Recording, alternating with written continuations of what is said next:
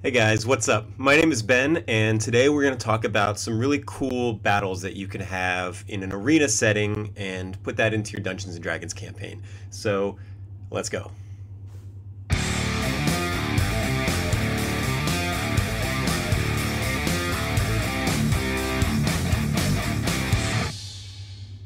All right, hey, and welcome back to uh, Dungeon Mastery. My name's Ben. Um, we're gonna so what we're going to be trying to do with this is uh, we want to try to put out a video every week, but it's not really feasible for us to have uh, me write 15 pages worth of content and Brian paint two pieces of art uh, every single week. So on the weeks in between the big episodes, uh, we'll do little side episodes. Um, it'll just be me talking about maybe some cool D&D stuff, or maybe we'll have Brian at some point do some kind of art tutorials and stuff.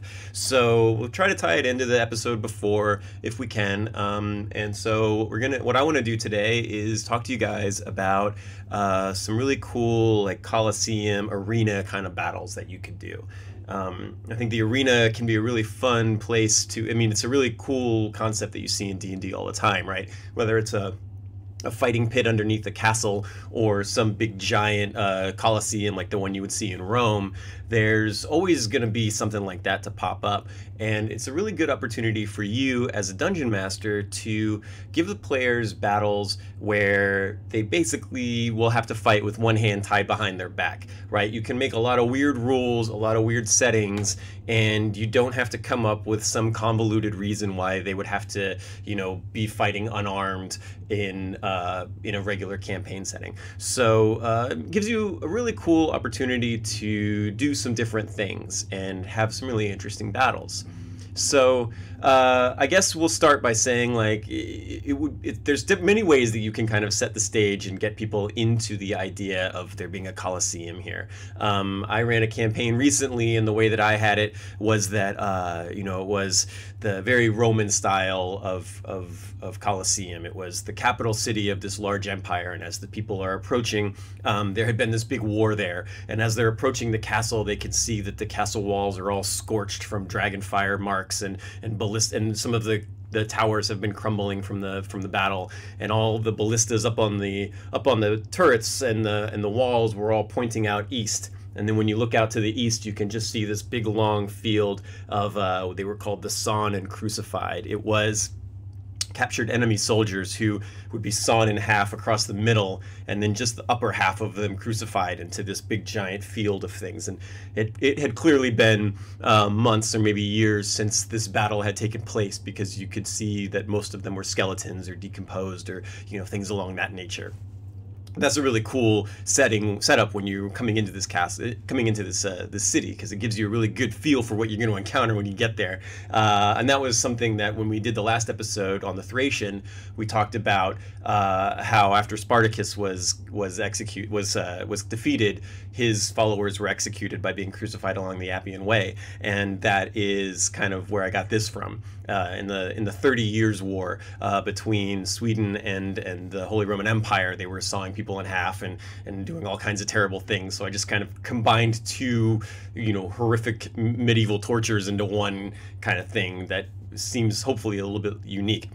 And so then when you get to the town, you're passing through the suburbs around the outside and you head down to the main square, which has this huge coliseum. Um, and then, you know, it's just this big bustling street corner. There's people coming and going all over the place, all different languages and, and races of, uh, you know, elves and dwarves and all kinds of different stuff passing around in this, in this big square. And um, there's a fighting school on one cor- corner where you've got some guys outside who are training in the different fighting styles. And then there's people outside by the coliseum them and they're they're scalping tickets or like you know trying to get people to come in and see them or, or taking bets for the fights. And then in the other corner you have this big this big tavern where uh, kind of a rowdy place, kind of like a the place sort of place you'd see outside of like a football game where you've got you know it's opened up to the outside a little bit. You've got a bunch of people sitting around outside. You got a bunch of guys who are really excited about going into the games. They've got uh, the banners or the streamers or whatever, uh, you know, for the showing the colors of their favorite teams and that kind of thing. And uh, and so then when you get there, you can kind of talk to somebody at the bar, you can talk to somebody at the fighting school, talk to somebody at the Coliseum, and what you'll find out is that yes, they have gladiators gladiator games with slave soldiers, but they will also accept, you know, if people want to join up and you can make them a lot of money and you can get a lot of fame. And, um, you know, this is one of the most, you know, popular places in the, you know, this is basically the, the, the football stadium of, of the city. So it's an easy way to kind of, get in with uh, with whoever you know you need to get in with. And one of the things with an arena, you know, if you're going to put the work into making an arena and putting it into your campaign, you want there to be some reason for the characters to maybe want to be involved with it right? Uh, there's always the you could have you could have them captured and forced to fight in an arena. That's kind of one that you see all the time in in media where you know they get grabbed and then they go to the evil guy's kingdom and then they have to uh, they have to fight for their survival. That's a pretty good way to get it get it in there. Um, there's there's other ways you can do it. So what I usually like to do is to give um, my players some choice, right, in whether or not they want to do this or not. So, like for instance, a good example would be, uh, what if they have to meet a guy and he's he's maybe maybe he's the superstar gladiator that they want to meet, or maybe it's a very wealthy uh, man in the city that they need a piece of information from, uh, and they have to meet him, but the only but nobody knows who they are when they show up, so they have to kind of earn a name for themselves. And one of the odd one of the opportunities to do that comes from becoming a famous fighter. Maybe this guy is that they need to meet is really into the into the games and he goes to them all the time time. And if you can become a famous fighter, then you have a really good opportunity of getting to talk to this guy. Um, could just be money, right? Could be something as simple as that. It could be an item that they're giving out. Maybe they're having a, a, a, day of games, and if you can succeed in three battles in the arena, then you get this magic item. And maybe it's just a good magic item, or maybe it's you know the MacGuffin that you need in order to open the you know the secret door to the next part to advance your your campaign. Uh, maybe they they they want to they need to kill the guy right? Maybe the the main gladiator is the guy they have to kill and they can't uh, they can't get in there without having some kind of gladiator credibility or maybe they can challenge him. Maybe there's a guy they hate and they want to challenge him to a duel and they have to have it in the arena that's another way to get people in there. Um, you, don't even need to to have them fight in it either, right? If you're going to put an arena into one of your cities, you can just have it be something where they can they can bet on it, right? Like you can you have fighters and you can do a whole thing where they go down and meet some of the fighters and talk to them, and they can use their perceptions and their sense of motives to try to see if they can size these guys up and figure out who's best, and uh, and then they can bet on the fights, or one of their friends can enter and everybody else can bet on him to win hopefully that'll happen. Um, but yeah, so there's a lot of cool things you can do with an arena. There's a lot of cool ways you can put people into it and have it be have it be more of an organic thing where it's like, okay, now you guys are here and you have to fight in this arena. So you can give them a few options as to why their characters would want to show up and take part in this. So, once they get into the arena, there's some really cool things you can do with the battles. It's kind of like what we were talking about last week with the Thracian, where basically, you know, anything that the that the people that run this city could capture, right? Whether it's a demon from another dimension or, you know, just they don't like elves and they make elves fight each other. Whatever prisoners from prisoners of war from a from a battle or whatever.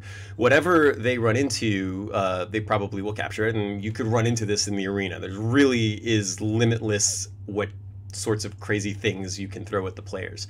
Um, one thing that's that that I think would be that can be pretty interesting is that you can change the rules of engagement, right? So with the Thracian gladiator, he had to fight in that specific type of gear, right? And it doesn't matter if he was a grew up as a spear fighter, he had to learn how to use the short sword and the shield.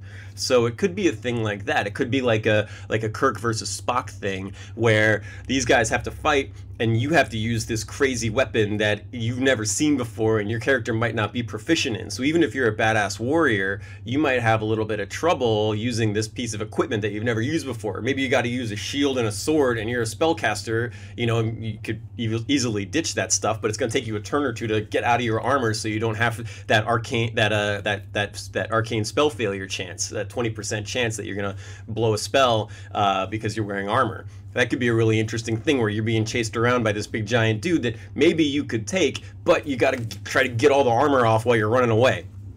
Uh, you could have people fight unarmed. That's an interesting thing. I, in, in the arena that I was talking about, I had the party get in there and they had to fight against, they had to fight unarmed, but the catch was that the the guys they had to fight was an equally sized party of all spellcasters. So it ended up being kind of a tricky situation for some of the fighters trying to knock guys out, uh, and um, and that can be kind of an interesting setup.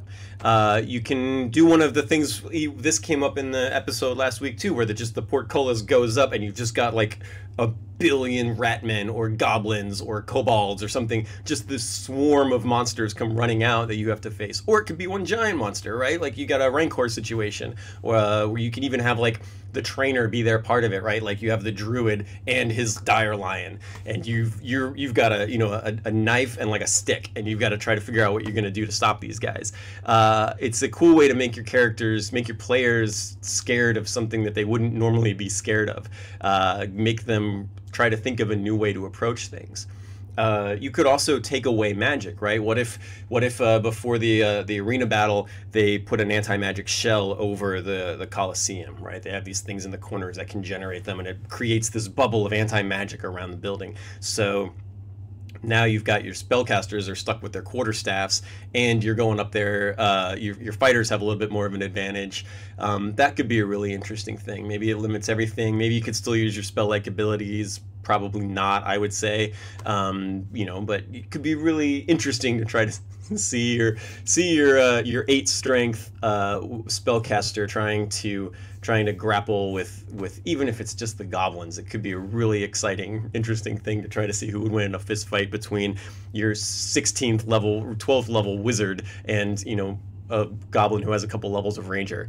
Uh, so that could be really cool and interesting. Um, there's always the traditional ones, right? You got to get thrown to the lions, you get thrown to the bears. Uh, one interesting thing could be more of like a um, the sort of thing you saw in the second the Star Wars prequel, where you've got them kind of like chained to a post. So one of the things I had was I had a I stuck a post in the middle of the the arena floor and then all four characters would be so the post was like this the characters are at uh, cardinal directions chained to the um, chained to the, the post so they can maybe have you know 15 to 20 degrees of movement this way they can maybe come over and help the guys on either side like this but for the most part it was the four doors opened. You had like a scorpion a, a lion um, a bear and i think a couple displacer beasts or something, and they came out to attack the party from the four directions at the same time. And these guys are each kind of having to solo some kind of monster that may or may not be a match for them.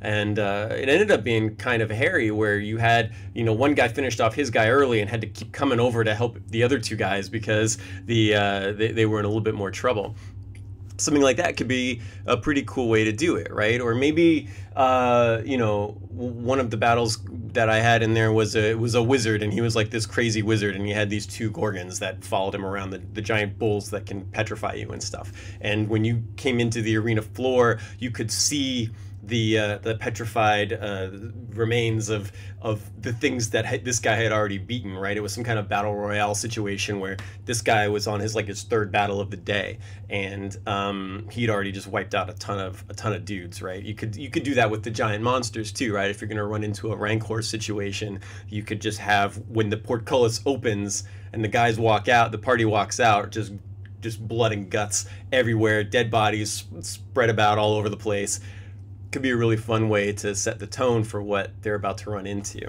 Uh, it's a cool thing where you don't have to. Um, the party really has no idea what to expect going into the battle, so it's no easy way for them to prepare for it. And then, like, you have that visual of just this iron door, and it goes up, and you just you have a very limited amount of time. Roll initiative. You have a very limited amount of time to adjust to what you're looking at and figure out what's happening. Um, so there's some cool things you can do with that. Uh, one of the things that they did in, in actual Rome that was really interesting was that they could bring in, they brought in water and they would flood the Colosseum and they would have naval battles in the floor of the Colosseum, which is just mind blowing to think of, right? So I did that in the campaign I was running, where there was a we flooded the Coliseum. They flooded the Coliseum. I mean, it's easier in D and D, right? You just have a bunch of create water spells or something along those lines, and uh, and you flood the Coliseum. And then I had the party in a little rowboat, and they had to fight like this warship that had a bunch of orcs on it.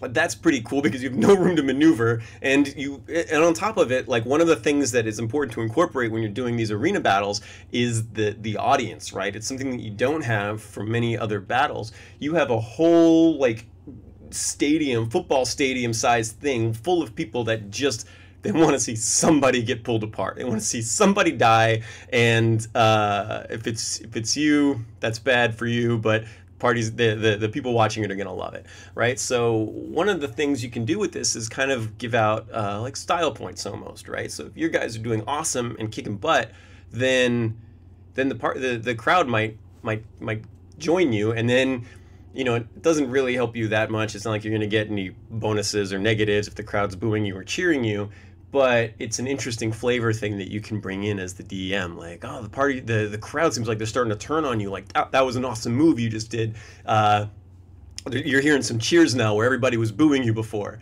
Uh, so something like that could be interesting, right? To kind of give you a little bit of flavor of here's how the city is feeling about you, here's how the people are feeling about you, here's how well you're doing.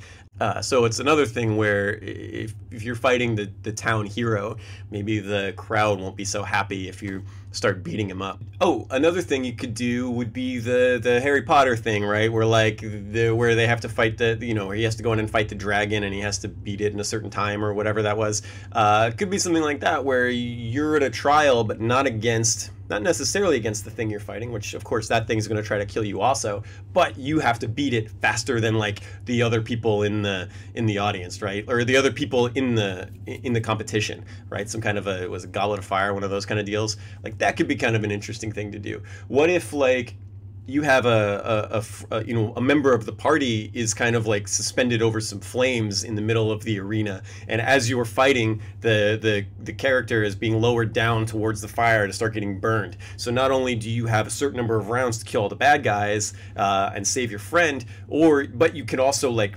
maybe if you're not going to get him in time you have to find a way to get that guy out of there so that he can like help you and start start assisting you in the combat um, or maybe he's a spellcaster and he can start shooting some spells while he's hanging upside down, tr- like trying to not be burned alive. Whatever it is, um, there's just a lot of really cool things that you can do. And the more you think about it and the more you kind of get into building these out, um, the more I think you'll start to realize that uh, you can do really cool things with the terrain with the type of characters, the type of monsters they're going to fight, and also with the the rules of engagement, what you can carry and what you what you're not allowed to use. It's a really cool way to take a party, especially one that's very powerful, and kind of bring them down a little bit and have them be battling in ways that you know uh, it, it, you'll see it a lot with these characters that that do a lot of min maxing, right? I'm awesome at this, but I suck at everything else. And now it's going to be like, well, you know how you didn't make a well-rounded character? Here's some battles that are going to really highlight that, and uh, and that could be really fun to run, and it could be fun for the players. Um, so I don't know. Hopefully, this has been useful to you. Uh, thanks so much for watching. And uh, if you want any more information, I'm going to put up uh, a little bit more of the descriptions and some of the, the, the stats and stuff that I used. I'll post it onto the Patreon so you can check that out if you're interested. And uh, thanks, and we'll see you next week with another big episode and a bunch of really cool art that I can't wait to show you. All right, thanks.